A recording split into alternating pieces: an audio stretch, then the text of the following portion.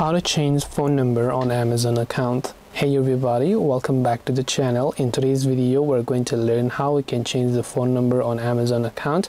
So make sure to watch the video till the end.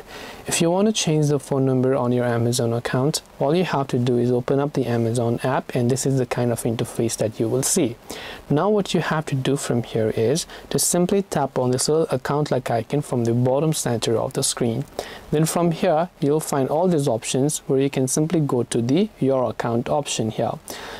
When you go to your account under account settings, you'll find an option that says login and security. Go to login and security option. Now right over here you can see the option called phone number and you'll find the edit button if you have added. Now in my case I have not added a phone number so you're seeing the add button but if you have you'll find the edit button there instead. So hope this video helped you. If you have got any more questions then feel free to also leave them down in the comment section below. Thank you for watching till the very end and see you soon in the next video.